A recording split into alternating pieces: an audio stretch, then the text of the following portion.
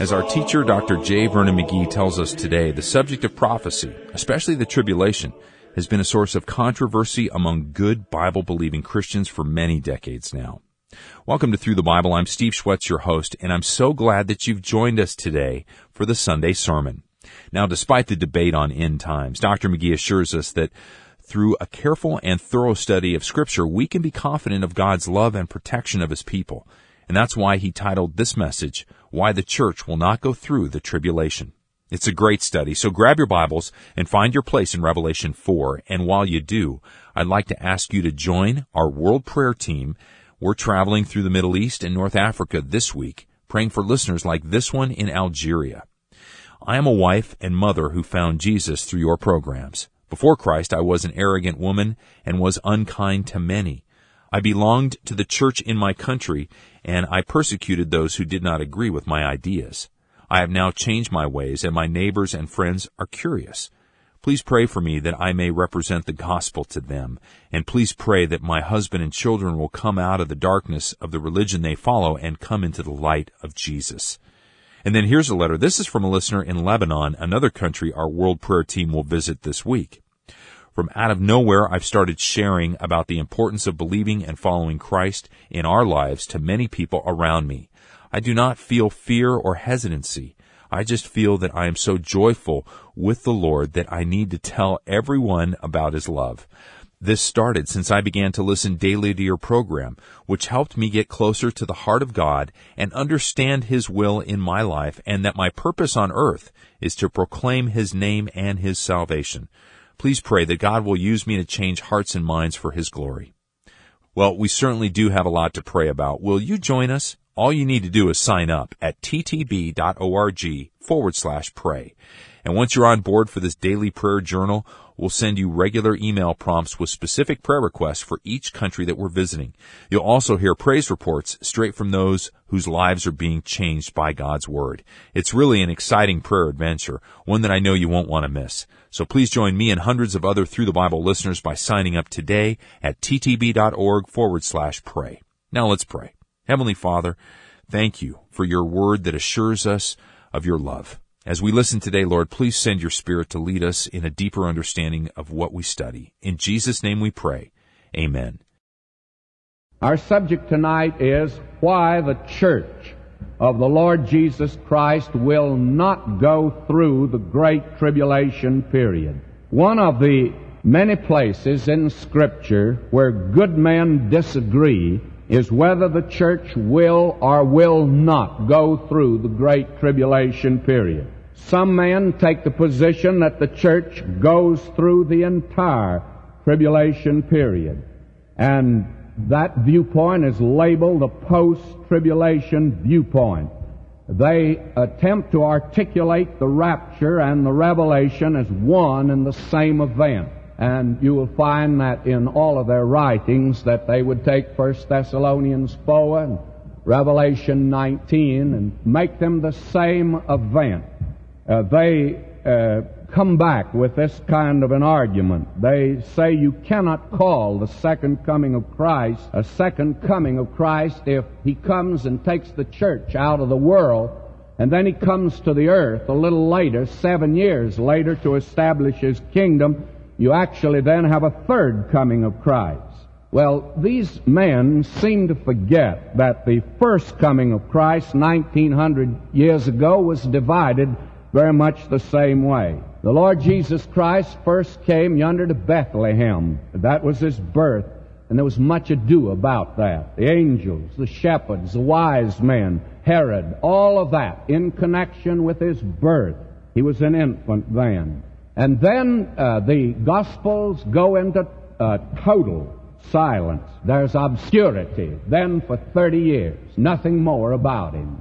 And then, not seven years later, but 30 years later, he begins his ministry. And he's not an infant now that appears in Bethlehem, but he's a man, 30 years of age, beginning a public ministry. Do you have one and two comings of Christ at that time? I've never heard anyone yet propose that, but uh, you could. But uh, it's uh, merely a a problem of semantics, and I think the meaning is quite evident that when he came the first time, you take his total life and you look at it as one coming to this earth, though he's born and then he goes into obscurity and there's silence and 30 years later he appears. We all understand that. And therefore his second coming to this earth is uh, set before us, taking the church out of the earth. He does not come to the earth at that time. We're told definitely we meet the Lord in the air. Then many of us believe seven years later he does come to this earth and establish his kingdom here upon the earth. Now there is another view known as the mid-tribulation period. And they take the viewpoint that he comes in the midst of the tribulation. That is, Daniel divided the tribulation in two equal parts, three and a half years each. Uh, John in Revelation does the same thing, as we shall see. And these two parts are definitely divided, no question about that. One part evidently Antichrist using it to present the biggest hoax that the world has ever seen. It's the big lie. He intends to bring world peace. And he's going to do a job of it for three and a half years. And then, may I use the, the very common expression, but it's the only way I know how to present it, all hell breaks loose on the earth at the last three and a half years. And my friend, to say that anyone redeemed in the church today goes through that period is certainly to minimize what that period really is that breaks on the earth. And so these that believe in the mid-tribulation period, they make a great deal of the 11th chapter of Revelation, which tonight we're not even looking at, but will look at in time on Thursday night. One of the men who espoused this view was a man I sat in his classes, Dr. Norman Harrison a very able Bible teacher and a very fine Bible teacher, and a man that was a blessing to my own heart. But I certainly did not agree with him in this, nor did I think uh, that he was able to present his, uh, his cause and his position and make it stick. Certainly not to me logically. Then there is another viewpoint that's known today as the partial rapture group. And I have been with that group, not believing as they did, but when I went to Nashville, Tennessee, I found that they were the ones who gave the strongest support to the Bible conferences that I put on there. I found they're lovely people with this exception, and uh, it comes out in the viewpoint you hold. The partial rapture believes they take Matthew 25, the parable of the ten virgins, now, if you take the Olivet Discourse and put it where we believe it belongs, it refers only to the nation Israel, only to that period which is yet in the future, has nothing to do with the church. You do not run into any confusion when you get to the 25th chapter. But they take it that the ten virgins, virgins set forth the church. Five are wise, five are foolish, five are taken out, and five are left down here. They believe that uh, only part of the church, that is the super duper saints, and I never met one of them that didn't think he belonged to the super duper saints. That viewpoint always ministers to spiritual pride. And I found it in that group. They were very much inclined to look down their nose at you. I went as a young preacher to Nashville and they uh, were very patient, they felt, with me and my viewpoint. They felt that uh, they would just pray for me and hope I would someday see the light and I haven't seen it yet, and that's been a long time ago. But the thing is that this is a viewpoint that has actually that only one scripture as a basis. And when you see the Olivet Discourse as having no reference at all to the church, but to that period that the Lord Himself labeled as the Great Tribulation period, then there's no confusion there at all. And then to see it as it is, I believe in the literal you could not come up with that interpretation. I do want to say this concerning these three viewpoints that there's something to commend all of these views because there have been good men that have held all of them. I personally cannot accept any of these for the very simple reason that I'm pre-trib in my viewpoint. I'm a pre-tribulationist. I believe that the Lord will come to take His church out before the world enters the great tribulation period. Christ takes the church out before the great tribulation period. In other, the, uh, in other words, the rapture must take place before the Great Tribulation. Now, any other view, in my judgment, destroys the belief in the imminent coming of Christ for His church. For instance, if you say tonight that those things that are predicted for the Great Tribulation period must be fulfilled, then tonight I cannot look for Him to come, but I must look for these terrible events to take place first. But we're told, looking for that blessed hope and the glorious appearing of our great God and Savior. And between us and that event tonight, there's not even a tissue that, as far as Scripture is concerned, that must be fulfilled. His coming is, has always been imminent. It's not always been soon, but it's always been imminent. He could come at any moment. And that is true today as far as the church is concerned. Now, uh, in this area, there was a theology professor several years ago who said no one could produce a single scripture that taught that the rapture would take place before the Great Tribulation period or that the church would be taken out. I sent word to that man because I know him. He's, he's, I consider him a friend of mine. I sent word to him that if he would come downtown, I'd buy his lunch and show him 25 scriptures that I was convinced, from my viewpoint, teach that the church will not go through the Great Tribulation. And I'm still waiting for him to come for lunch. Uh, I uh, believe that today, to make a statement like that, is a very dangerous sort of thing to do. I think that tonight we could give at least 25 scriptures, but we're confined tonight by time, and I'm confined to the passage of scripture especially. I do want to suggest some others, however, if we have time tonight. Now will you come with me to Revelation 4, because it's this passage of scripture that they insist does not teach that the church is taken out of the earth or out of the world at the beginning of chapter 4. Many of us believe that this passage teach, teaches that. You will notice that he says, After this I looked, and behold, a door was open in heaven, and the first voice which I heard was as it were of a trumpet talking with me, which said, Come up hither, and I will show thee things which must be hereafter. After this, now the Greek there is meta tauta, after these things, and actually what it's doing is following the division that John gave at the very beginning, for he outlined this book for us back in the first chapter, verse 19, for he says this, Write the things, the Lord Jesus told him this, write the things which thou hast seen. That is the vision he's had of Christ in chapter 1. And the things which are. That's in chapters 2 and 3 that concern the seven churches in the province of Asia, which is in Asia Minor. And the things which shall be hereafter are the things which shall be metatauta, after these things. Now when you come to chapter 4, it says metatauta, after these things. After what things? After the things that are present, the church things. Now the church in the earth has come to an end. What happened to the church?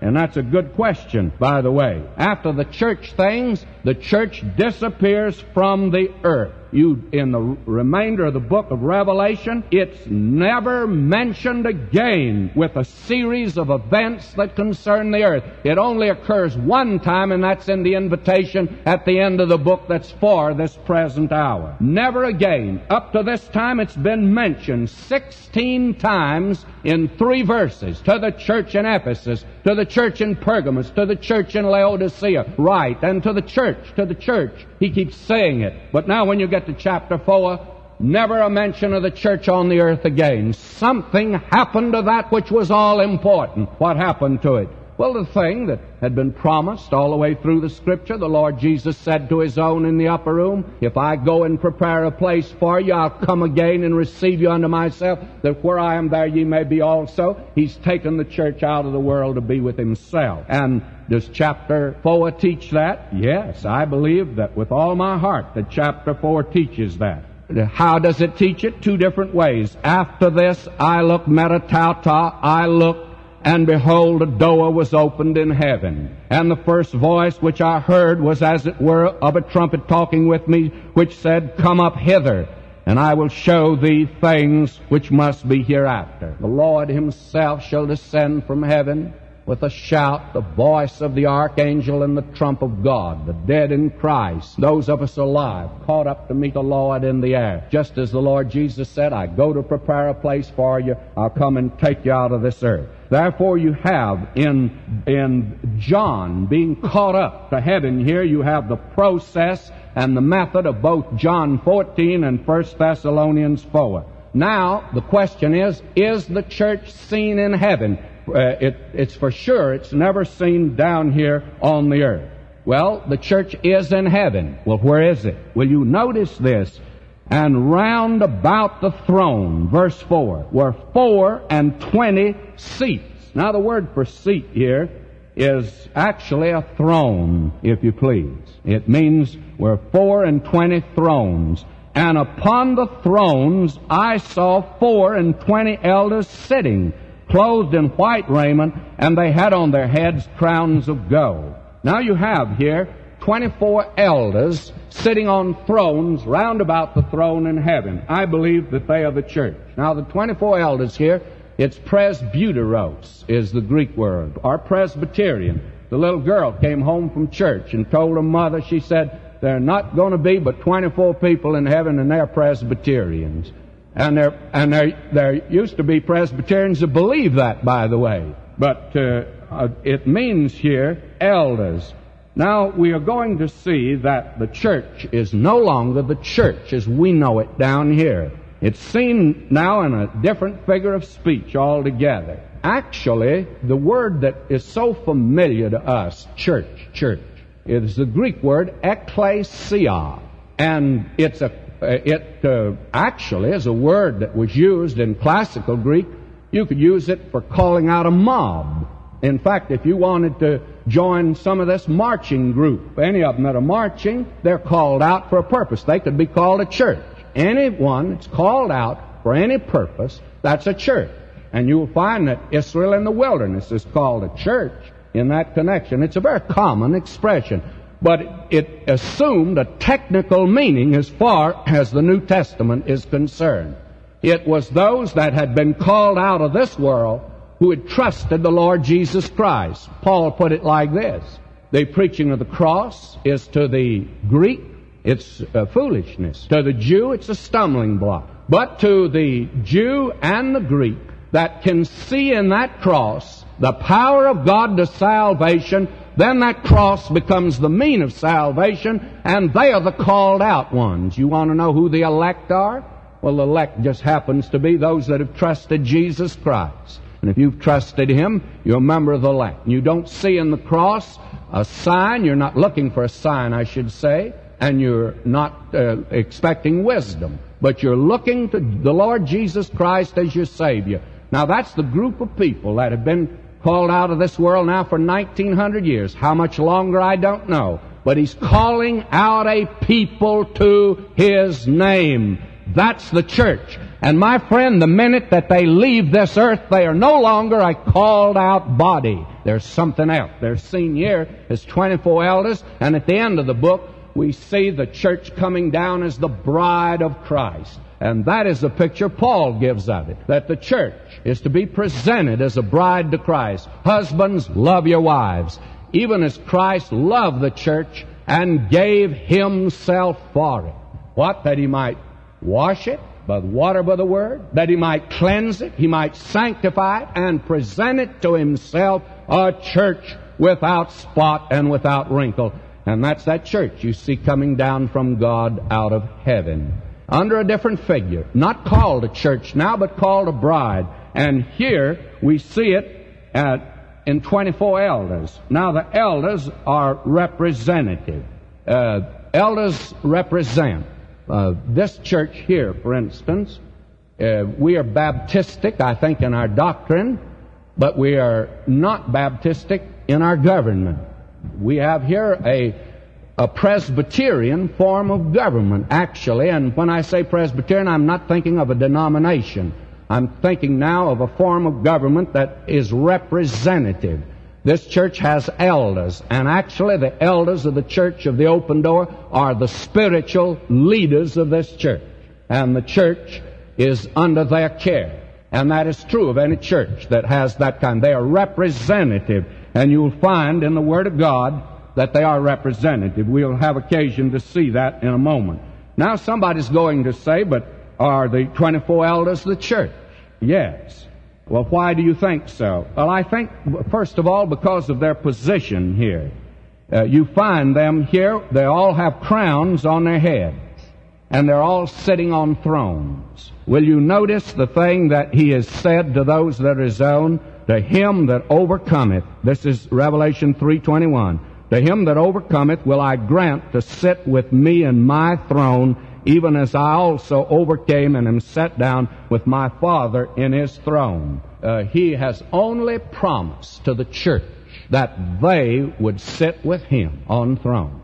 And these are not angels, because angels are never told they'll occupy that position. Only has the church been promised that they're to sit with Christ on thrones. Here they are on thrones. The very position of these. Then they have crowns and they're Stephanos crowns, victor's crowns. They have overcome, by the way. And I think that is the, the language that is spoken of here. It could only refer to those that have been redeemed and now are given a reward. Will you listen again in the third chapter, verse 4, speaking now to the church. Thou hast a few names even in Sardis, which have not defiled their garments. They shall walk with me in white, for they are worthy. And by the way, these are robed in white also, in the righteousness of Christ. He that overcometh, the same shall be clothed in white raiment, and I will not blot out his name out of the book of life, but I will confess his name before my Father and before his angels. Now these are are victors. Uh, they have victors' crowns. Stephanos is the Greek word. And by the way, isn't it interesting? Stephen means crown, the first martyr of the church. I do not know this tonight, and I may have occasion to be embarrassed when we get to heaven. I personally believe that Stephen will receive the highest reward of anyone in the church. You say more than Paul the Apostle? Yes. Everything Paul did, Stephen will join with him in the reward because it was Stephen, the young man, who witnessed a good confession that caused a young Pharisee to look into the heaven and say, I don't see heaven open and I don't see Jesus standing at the right hand of God, but I sure would like to. And one day on the Damascus Road, the heaven opened and he saw it. It was Stephen who was the human instrumentality that led Saul of Tarsus to a saving knowledge of Christ. The witness of a young man to another young man was the means of his conversion. And Paul never did anything but what Stephen will not share in that reward. May I say to you, friend, tonight, you ought to start leading some young folk to the, to a knowledge of Christ. And I'll tell you why. If you are the human instrument in doing it, you'll share in everything that they do. It's the reason I'm interested in having part in the lives of young ministers and missionaries. And I've been interested for years because after I'm gone, whatever they do, well, I'll have to share in it because I haven't done much myself, but if I can just have part in their lives. Get involved and invest in the lives of somebody that's doing something for God today. You can share in that. You can have part in the reward. And, and Stephen, I think, will be the one. Now, angels are not robed in white. Only the redeemed are robed in white.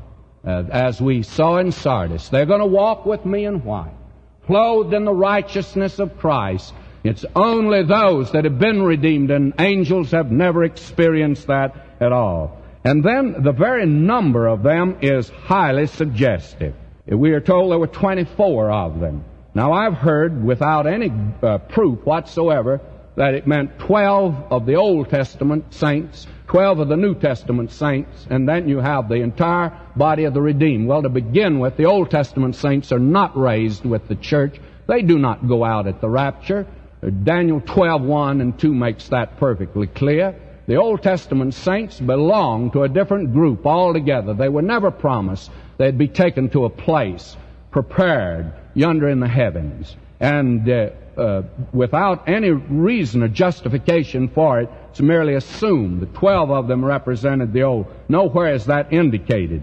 But it is made very clear in Scripture that 24 was the number of the priests. I want to turn tonight back to First Chronicles, the 24th chapter, for here you have the order of the 24 given. Now these are the divisions of the sons of Aaron. The sons of Aaron, Nadab, Abihu, Eleazar, and Ithamar. And then you read on down there, David distributed them.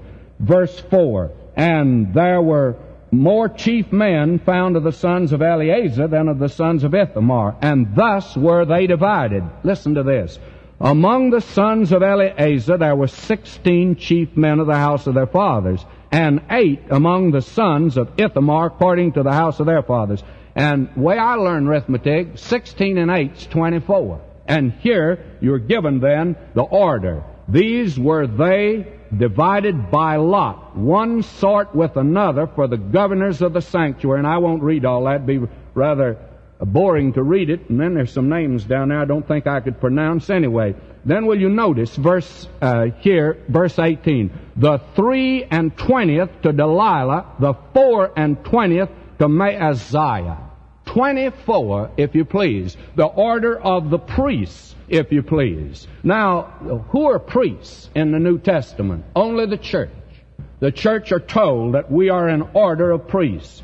He says, ye also as living stones are built up a spiritual house, a holy priesthood, to offer up spiritual sacrifices acceptable to God by Jesus Christ. 1 Peter 2 5. 1 Peter 2 9. But you're a chosen generation, a royal priesthood, a holy nation, a peculiar people, that ye should show forth the praise of him who called you out of darkness into his marvelous light.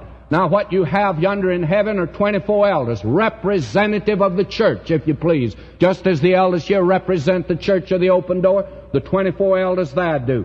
And they are, why 24? Because that's the number of the priesthood. And the church is the only priesthood, my beloved, that you have. So what you have is the representatives of the priests, if you please. Now, the very testimony of these here indicates that they belong to the church. They could never be angels, that is for sure. Will you listen to them? They sung a new song saying, Thou art worthy to take the book, to open the seals thereof. For thou wast slain, hast redeemed us to God by thy blood out of every kindred and tongue and people and nation, hast made us unto our God kings and our kingdom of priests, and we shall reign on the earth. That only refers to the church, and that's the song of the elders. They're joined by the other created intelligences, but this is the song of redeemed people, and it can only here refer to the church, if you please. Now, I mentioned a moment ago that elders are representative. Let me just give one scripture, and we could give a dozen tonight. Acts 15, 2. When therefore Paul and Barnabas had no small dissension and disputation with them, they determined that Paul and Barnabas and certain other of them should go up to Jerusalem under the apostles and elders about this question. You see, the apostles were living then. Now they're to go to the apostles. The elders were the ones that represented the church in Jerusalem, and they went before the spiritual representatives of the church. And you'll find that Paul tells two young preachers, both Timothy and Titus, to appoint elders, tell them the kind of men that are to be chosen for this office to represent the church. Now these men, the 24 elders here, have a very high spiritual IQ. They have a scriptural understanding that only born again children of God could possibly have. You find that here, for instance, in chapter 5, verse 5. One of the elders saith unto me, Weep not, Behold, the lion of the tribe of Judah, the root of David, hath prevailed to open the book to loose the seven seals thereof. Now, John found himself in an altogether new climate when he got into heaven. The entire environment was new to him, and he had difficulty, as you can see in these two chapters, of adjusting himself to it and, and getting acclimated. And uh, he uh, saw that there was this little book. This book, apparently, the title deeds of the earth.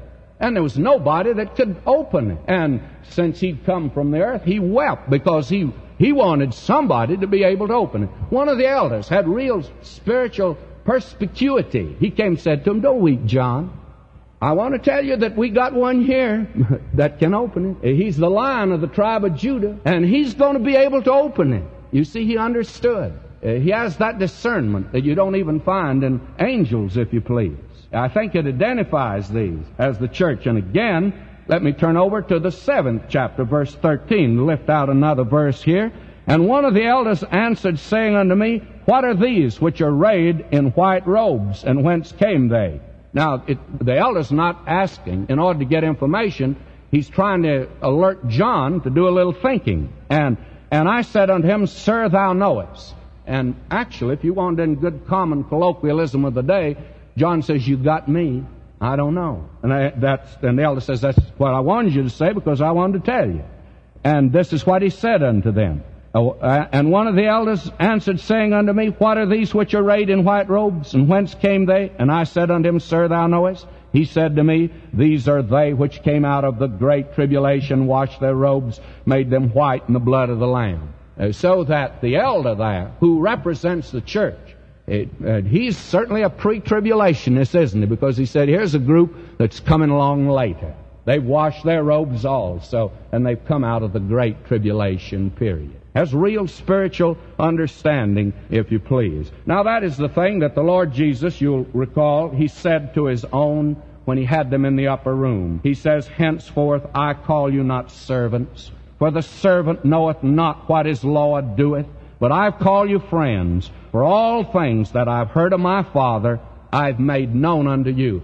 I do not know why that shouldn't thrill us more than it does.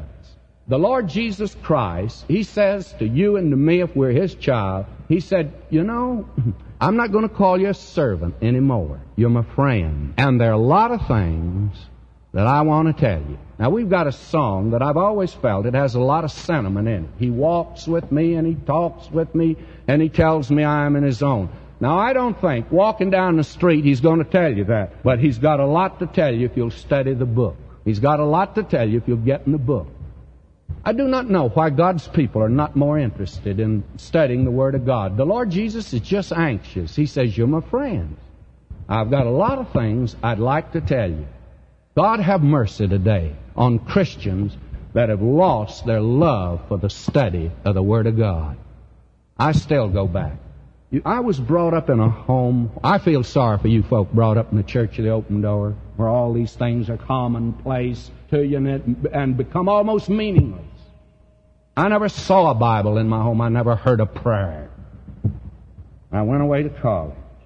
And Dr. Ironside and Dr. Chafer and Dr. Harry Rimmer came to town, and I even canceled my Christmas vacation. Imagine a college boy it.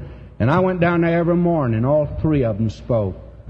Friends, I thought I was in heaven. I honestly did. I thought this is the most wonderful thing. And some of you today have heard the greatest Bible teachers in America from this pulpit, from the days of Dr. Torrey down to the present hour, and you're not moved. God have mercy on you. God have mercy on you today. You're my friends. I want to tell you something. And I'm using these men to speak to you, and you don't listen to me. My, He wants to talk to us, this wonderful Savior.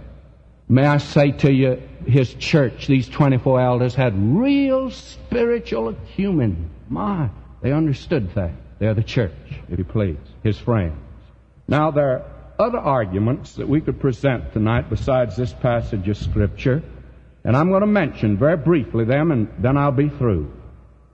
May I say the reason the church must leave before the Great Tribulation period is because that there cannot be worldwide anti-Semitism as long as the church is in the world. And the Lord Jesus says worldwide anti-Semitism is coming in the Great Tribulation period. In Matthew 24 verse 9, he says, Then shall they deliver you up to be afflicted. He's not talking to the church here.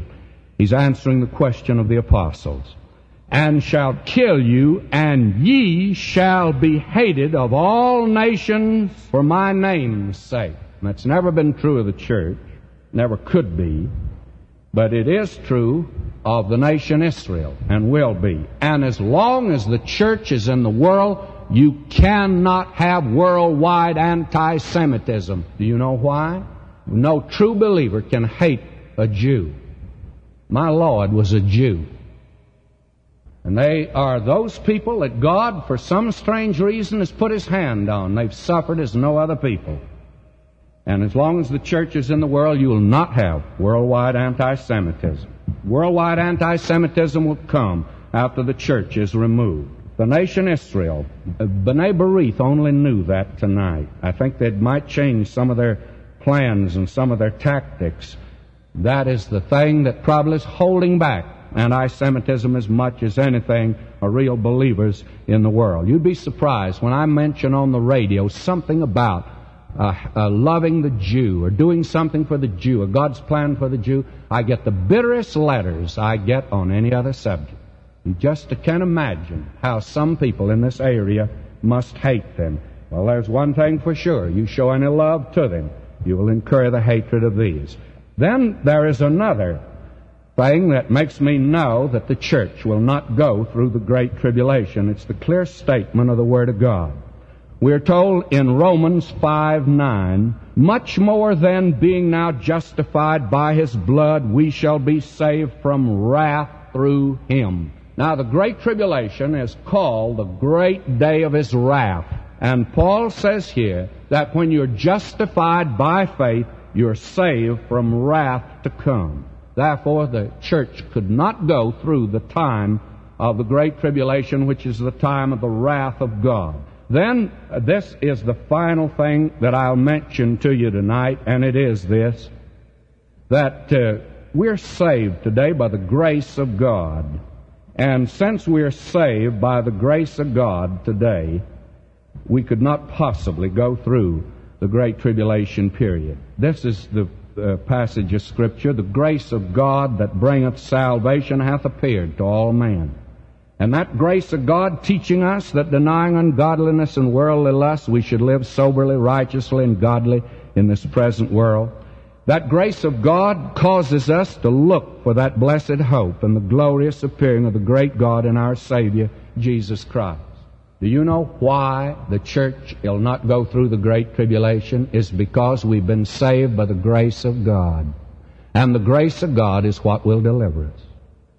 I have a feeling these people who want to push the church in the great tribulation, I talked to them a, a great deal, have in the past. I went to a seminary where it was the belief in my denomination that the church would go through the great tribulation. And talking with those men, they have always come up with this. Well, the church should be purified. It needs to go through this period. And I always had a sneaking feeling that they felt like I, ought to, I needed it. And they ought to push me into it. Now, I always like to say this. I was saved from hell by the grace of God. And I'm saved from the great tribulation the same way. The grace of God. And that's the way I'm going to be able to stay in heaven, is by the grace of God. When we've been there not 10,000 but 10 million years, we'll be there because of the grace of God. So, my friend, the, you would absolutely demolish the grace of God if you push the church into the great tribulation. And Jude even said this Keep yourselves in the love of God, looking for the mercy of our Lord Jesus Christ. Now, when He comes, I'm not looking for him to pat me on the back and say, Ma McGee, I want to take you out. You're such a fine fellow. When he takes me out, it'll be because he extends mercy. I'm looking for the mercy. And tonight, that is the thing we should be looking for. Now, I want to conclude with this and I'm through. This does not mean that the church will not have trouble on the earth. It's always had trouble.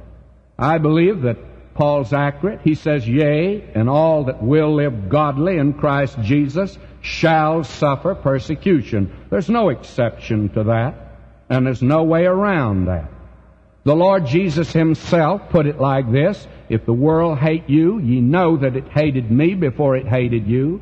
If ye were of the world, the world would love its own. But because ye are not of the world, but I've chosen you out of the world, therefore the world hateth you. And then he said this, These things I've spoken unto you, that in me ye might have peace. In the world ye shall have tribulation, not the great tribulation. I like to put it like this, the church is going to have the little tribulation. And I believe that any person that will live for Jesus Christ today, you'll pay for it. You'll pay for it in your business. You'll pay for it in your social life. You'll pay for it on the campus. You cannot be true to Christ today without paying a price for it. You have to pay it. And that's always been true. God's men have always paid a price. In this business today of uh, we've got so many whining saints. Oh, I'm being persecuted.